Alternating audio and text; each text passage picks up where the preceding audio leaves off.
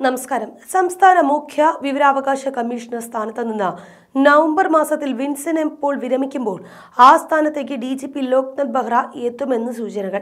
രണ്ടായിരത്തി ഇരുപത്തിയൊന്ന് ജൂണിലാണ് ബെഹ്റ സർവീസിൽ നിന്ന് വിരമിക്കുന്നത്. ഈ സാഹചര്യത്തിലാണ് നീക്കം. പോലീസ് മേധാവി പദവിയിൽ മൂന്ന് വർഷത്തിലേറെയായി തുടരുന്നവരെ തെരഞ്ഞെടുപ്പ് വേളയിൽ മാറ്റുന്ന രീതി തെരഞ്ഞെടുപ്പ് കമ്മീഷനുണ്ട്.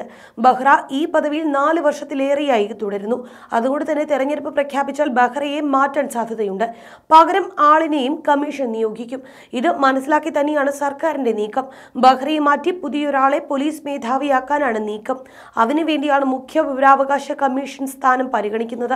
നെതർലാൻഡ്സിൽ അംബാസിഡറായ വേണു രാജാമണി സേവന കാലാവധി കഴിഞ്ഞെത്തുമ്പോൾ താല്പര്യം പ്രകടിപ്പിച്ചാൽ അദ്ദേഹത്തെ പരിഗണിക്കാനും സാധ്യതയുണ്ട്. നെതർലാൻഡ്സിൽ മുഖ്യമന്ത്രി പിണറായി വിജയൻ എത്തിയപ്പോൾ എല്ലാ സഹായവും ചെയ്തു നൽകിയത് രാജാമണിയാണ്. അങ്ങനെ വന്നാൽ കൊച്ചി ആസ്ഥാനമായി മറ്റൊരു ഉയർന്ന തസ്തികയിലേക്കും ബഹ്റയെ പരിഗണിച്ചേക്കും. രണ്ടായിരത്തി ഇരുപത്തിയൊന്ന് ജൂണിലാണ് ബെഹ്റ സർവീസിൽ നിന്ന് വിരമിക്കുന്നത്. അതിനിടെ കേന്ദ്രത്തിൽ ഉയർന്ന പദവിയിലേക്ക് പോകാനായില്ല എങ്കിൽ തെരഞ്ഞെടുപ്പ് സമയത്ത് പോലീസ് മേധാവി സ്ഥാനത്ത് നിന്ന് അദ്ദേഹത്തിന് മാറേണ്ടി വരും. ഇത് മനസ്സിലാക്കി തന്നെയാണ് ബഹ്റയ്ക്ക് മറ്റൊരു പദവി പരിഗണിക്കുന്നത്. മുഖ്യമന്ത്രി ചെയർമാനും മുതിർന്ന മന്ത്രിസഭാംഗവും പ്രതിപക്ഷ നേതാവും അംഗങ്ങളുമായ സമിതിയുമാണ് മുഖ്യ വിവരാവകാശ കമ്മീഷണറുടെ പേര് ഗവർണറോട് നിർദ്ദേശിച്ചിരിക്കുന്നത്.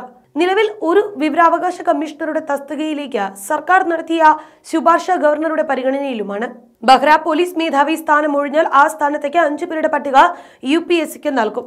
യു പി എസ് സി മാനദണ്ഡങ്ങൾ പ്രകാരം സർക്കാരിന് നൽകുന്ന ചുരുക്കപ്പട്ടികയിൽ നിന്നാണ് സംസ്ഥാന പോലീസ് മേധാവിയെ നിയമിക്കുക. ഡി ജി പി പദവിയിലുള്ള ഋഷിരാജ് സിംഗ് ടോമിൻഷെ തച്ചങ്കരി എന്നിവരെ കൂടാതെ തന്നെ മൂന്ന് പേരുടെ പട്ടികയും ചേർത്താണ് യു പി എസ് സിക്ക് നൽകേണ്ടത്.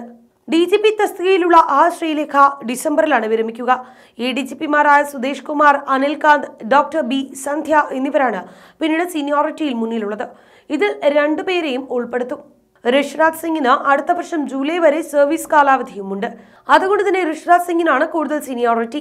എന്നാൽ സർക്കാരിന് ഋഷിരാജ് സിംഗിന് അത്ര താല്പര്യവുമില്ല. ശ്രീലേഖയെ ഒരു മാസത്തേക്ക് പോലീസ് മേധാവിയാക്കാനും സാധ്യതയുണ്ട്. അങ്ങനെ വന്നാൽ കേരളത്തിൽ ഡി ജി പി ആകുന്ന ആദ്യ വനിതയായി ശ്രീലേഖ മാറും. അത് കഴിഞ്ഞാൽ തച്ചങ്കരിയെ പോലീസ് മേധാവിയാക്കാനാണ് സർക്കാരിന് കൂടുതൽ താല്പര്യം. ഋഷിരാജ് സിംഗ് സ്വന്തം ഇഷ്ടപ്രകാരം പ്രവർത്തിക്കുമെന്നതാണ് ഇതിന് കാരണം. കേരള കേഡറിലെ സീനിയോറിറ്റി പ്രകാരം തച്ചങ്കരിക്ക് മുകളിൽ അരുൺകുമാർ സിൻഹയുണ്ട്. അദ്ദേഹം ജൂലൈ ഏഴ് വരെ ഡെപ്യൂട്ടേഷനിലുമാണ്. അതുകൊണ്ട് തന്നെ ഋഷിദാസ് സിംഗ് കഴിഞ്ഞാൽ കൂടുതൽ സാധ്യത തച്ചങ്കരിക്കാണ്. രണ്ടായിരത്തി ഇരുപത്തി മൂന്ന് ജൂലൈ വരെ തച്ചങ്കരിക്ക് സർവീസ് കാലാവധിയുമുണ്ട്. സുദേശ് കുമാർ രണ്ടായിരത്തി ഇരുപത്തിരണ്ട് ഒക്ടോബറിലും ബി സന്ധ്യ രണ്ടായിരത്തി ഇരുപത്തിരണ്ട് മെയ്യിലുമാണ് വിരമിക്കുക. അതുകൊണ്ട് തന്നെ ആയിരത്തി തൊള്ളായിരത്തി എൺപത്തി ഏഴ് ബാച്ചിലെ തച്ചങ്കരിക്ക് സാധ്യത ഏറെയാണ്. എന്നാൽ യു പി എസ് സി തീരുമാനമാകും നിർണായകം. നിലവിൽ ബഹ്റയും ഋഷിരാജ് സിംഗും ശ്രീലേഖയും തച്ചങ്കരിയുമാണ് എക്സ്കേഡ് എക്സ് കേഡർ തസ്കയിലുള്ള ഡി ജി പിമാർ.